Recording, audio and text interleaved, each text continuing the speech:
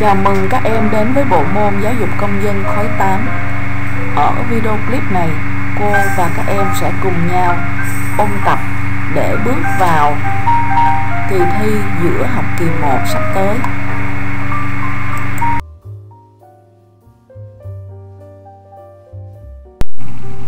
Về hình thức kiểm tra giữa học kỳ 1 thì chúng ta sẽ làm trực tiếp tại lớp, thời gian là 45 phút. Hình thức kiểm tra là 12 câu trắc nghiệm và 3 câu tự luận. Nội dung ôn thi giữa học kỳ 1 chúng ta sẽ học 4 bài. Bài số 1 là bài tự hào về truyền thống dân tộc Việt Nam. Bài số 2 là tôn trọng sự đa dạng của các dân tộc. Bài số 3 là lao động cần cù sáng tạo và bài số 4 là bài bảo vệ lẽ phải. Về phần nội dung ôn tập, về lý thuyết các em xem kỹ cho cô phần nội dung bài học mà chúng ta đã viết trong tập. Về phần bài tập chúng xe chúng ta sẽ xem lại các bài tập trong sách giáo khoa và đề cương ôn tập cũng như là video clip mà cô sẽ gửi lên trên trang web. Chúng ta sẽ bước vào phần lý thuyết. Bài đầu tiên, tự hào về truyền thống dân tộc Việt Nam. Một nhỏ, một số truyền thống của dân tộc, ví dụ như truyền thống yêu nước, truyền thống hiếu học, truyền thống đoàn kết, truyền thống nhân nghĩa, cần cù lao động, truyền thống tôn sư trọng đạo, truyền thống uống nước nhớ nguồn, vân vân. Hai nhỏ là giá trị của các truyền thống.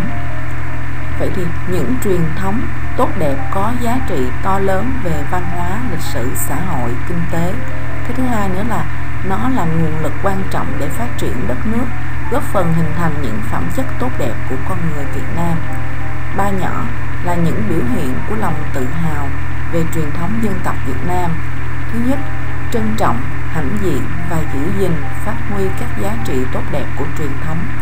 Thứ hai nữa là học sinh cần phải tìm hiểu, tôn trọng, giữ gìn và phát huy các truyền thống tốt đẹp, góp phần xây dựng nền văn hóa Việt Nam tiên tiến đậm đà bản sắc dân tộc và đồng thời phê phán, lên án cũng như là ngăn chặn những hành vi làm tổn hại đến truyền thống dân tộc.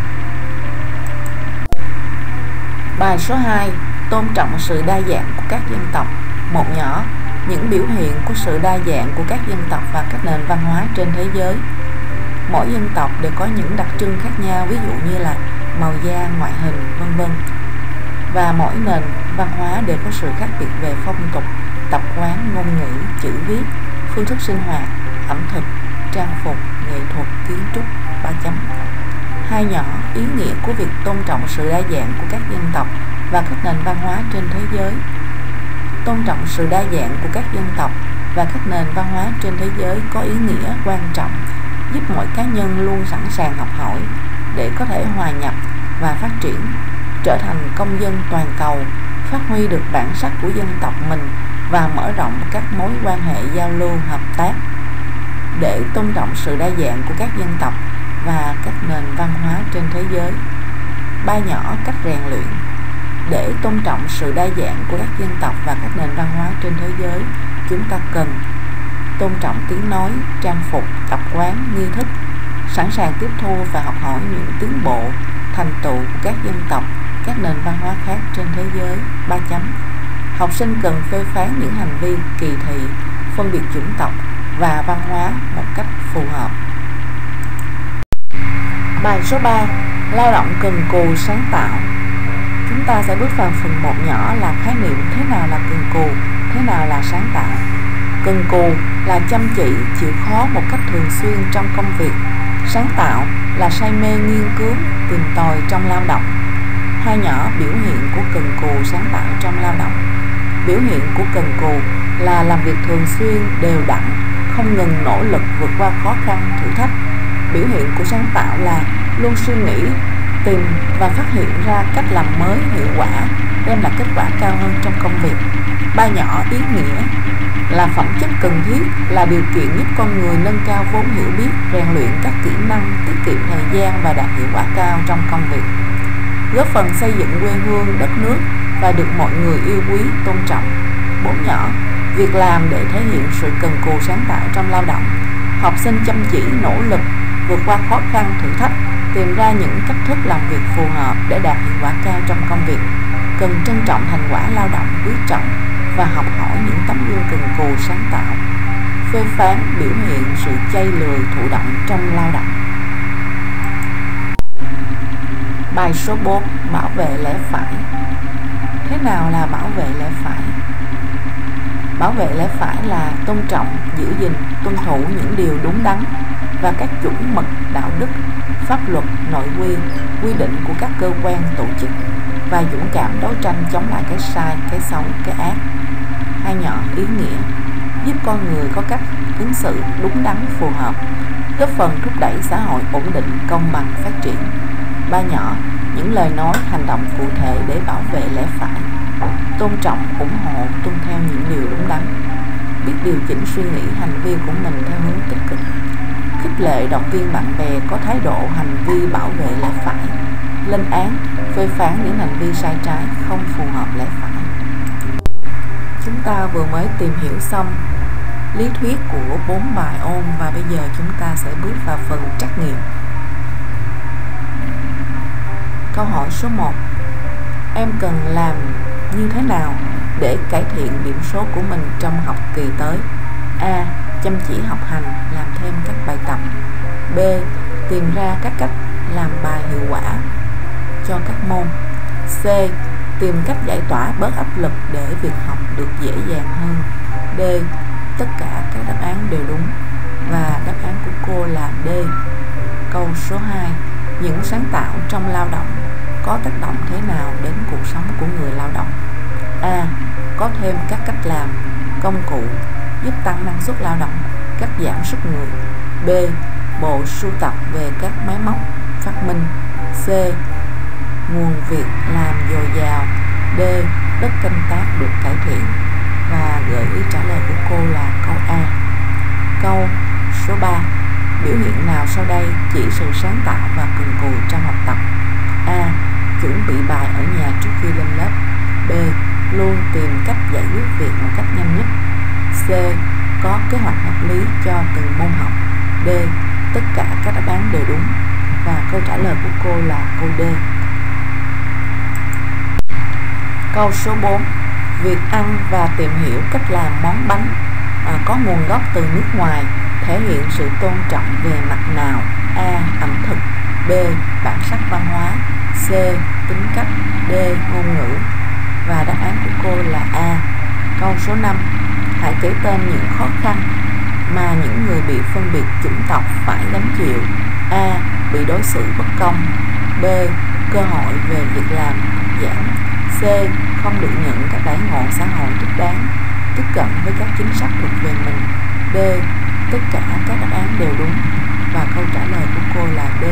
Câu số 6 vì sao chúng ta cần phải sáng tạo trong lao động? A sẽ bị tụt hậu chậm phát triển b sẽ không có thêm nghiên cứu nào. C không có ứng dụng nào ra ra đời. D bị thua trên các hội thảo về phát minh sáng tạo. Và câu trả lời của cô là A. Câu số 7 Để hướng tới những điều tốt đẹp thì mọi người cần A. Bao dung cho những điều sai trái. B. Chung tay bảo vệ lẽ phải. C. Làm những gì có lợi cho bản thân D. Đáp án khác Và câu trả lời của cô là B. Câu số 8 Em tán thành ý kiến nào dưới đây về việc tôn trọng và học hỏi các dân tộc khác A. Chỉ có những nước tiên tiến mới có những thành tựu đáng học tập B. Cần học tập tiếp thu văn hóa nước ngoài một cách có chọn lọc C. Những sản phẩm nước ngoài đều là tốt, đáng thưởng thức và đáng học tập D.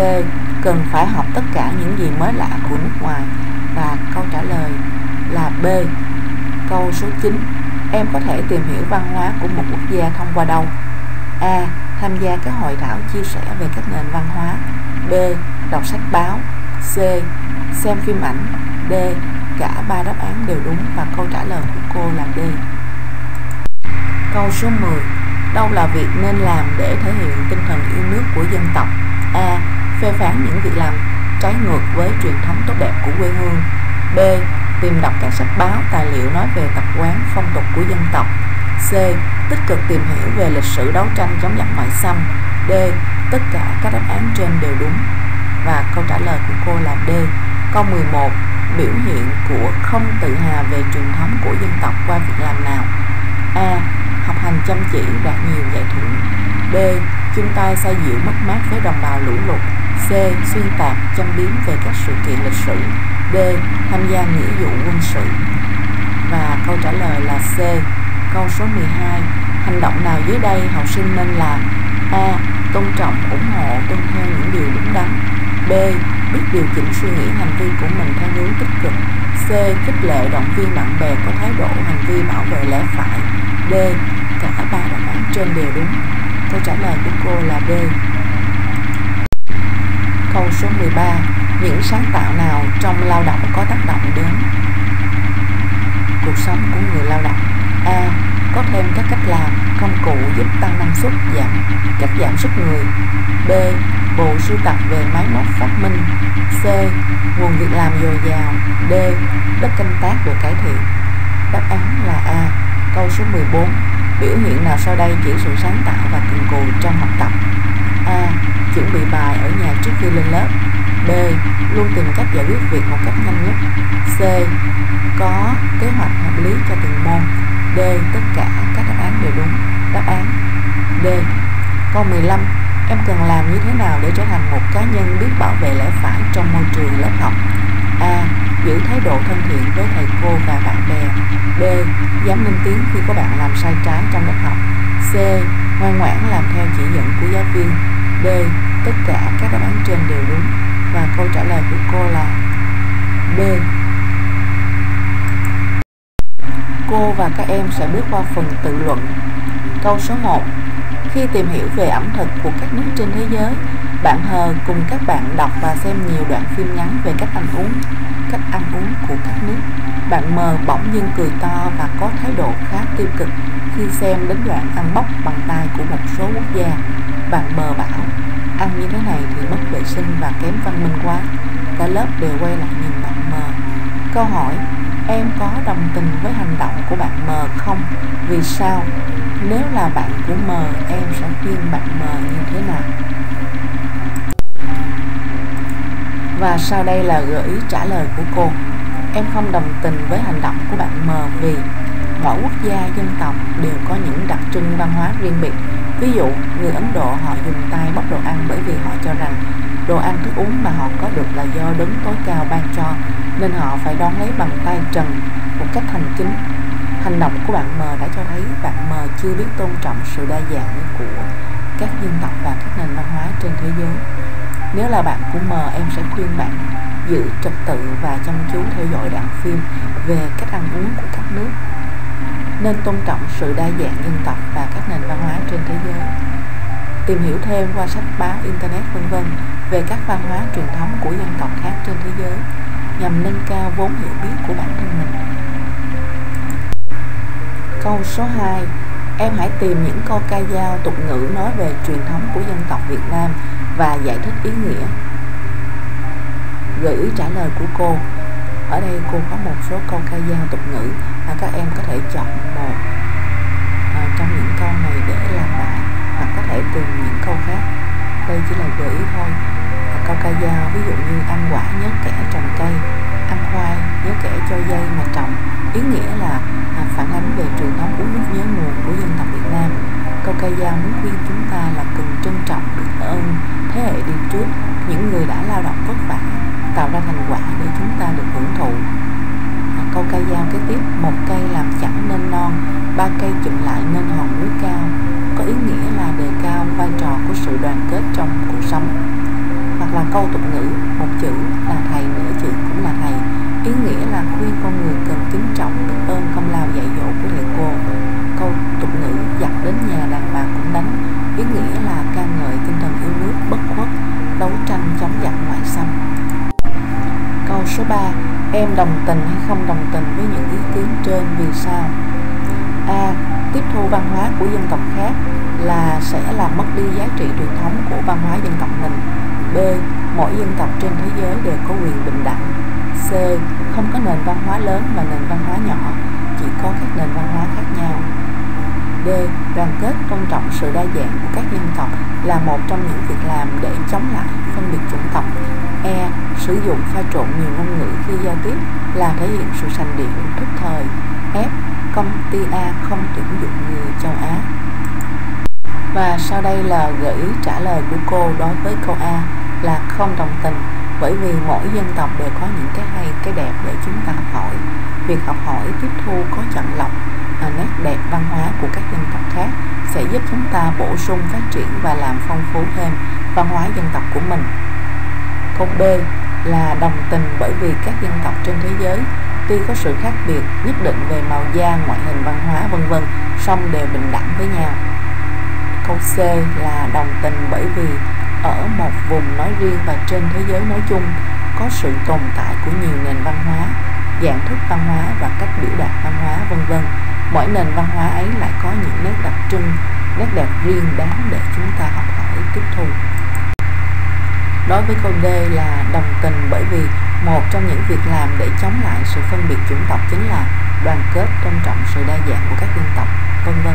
Ngoài ra chúng ta cũng cần uh, có cái tinh thần dũng cảm sự bao dung và lòng yêu thương con người. Đối với câu E là không đồng tình bởi vì việc sử dụng pha trộn lạm dụng nhiều ngôn ngữ khi giao tiếp sẽ làm mất đi nét đẹp sự trong sáng của ngôn ngữ, đồng thời cũng thể hiện thái độ thiếu tôn trọng đối với ngôn ngữ bản địa. Câu F không đồng tình bởi vì quyết định từ chối những người châu Á và làm việc của công ty A là đồng là hành động không đúng, thể hiện sự phân biệt chủng tộc và văn hóa. Câu số 4 em hãy cho biết ý nghĩa của cần cù sáng tạo trong lao động hãy kể tên những việc làm cụ thể thể hiện sự cần cù sáng tạo của bản thân em trong học tập và cuộc sống. À, gợi ý trả lời của cô. Ở cái phần ý nghĩa này là phần à, học thuộc lòng hai là mã lý thuyết của bài số 3 ý nghĩa là phẩm chất cần thiết là điều kiện giúp con người nâng cao vốn hiểu biết rèn luyện các kỹ năng tiết kiệm thời gian và đạt hiệu quả cao trong công việc góp phần xây dựng quê hương đất nước và được mọi người yêu quý tôn trọng. À, về à, à, việc làm cụ thể thì chúng ta có thể nói ví dụ như trong học tập là chúng ta có thể về nhà học bài làm bài hoàn thành tốt những à, nhiệm vụ được giao. Rồi trong quá trình chúng ta học bài làm bài chúng ta phải suy nghĩ tìm tòi những phương pháp học tập mới hơn khoa học hơn hiệu quả hơn.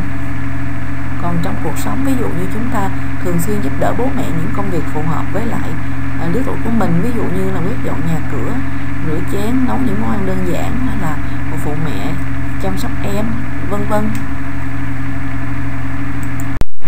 Câu số 5 bạn V là học sinh lớp 8A dù học trực tiếp hay trực tuyến, bạn vẫn tham gia đầy đủ nghiêm túc.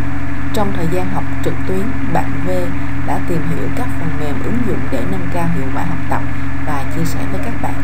Trong khi đó, bạn M lại thường xuyên chơi điện tử trong giờ học trực tuyến bạn M cho rằng à, mình thấy bạn vờ tốn nhiều thời gian không cần thiết phải áp dụng các phần mềm thì vẫn học được mà học trực tuyến có ai kiểm tra đâu mà lo. Câu hỏi em có đồng ý với đánh giá của bạn M về bạn V không? Vì sao? Em có lời khuyên gì đối với bạn đối với những bạn chưa có thói quen cần cù sáng tạo trong lao động?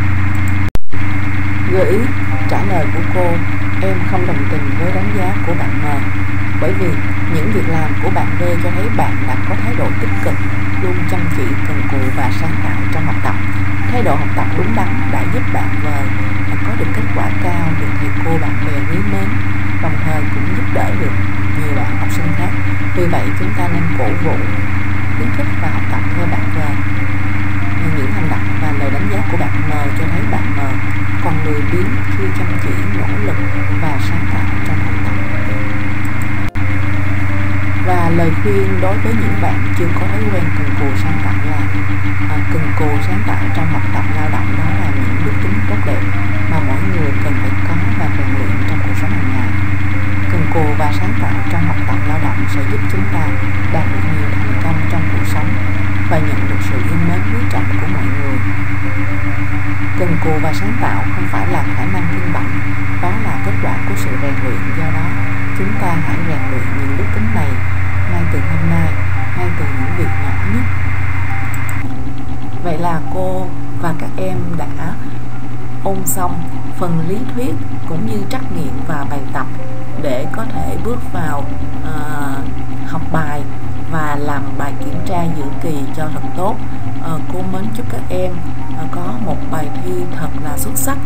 À, thân ái chào tạm biệt các em.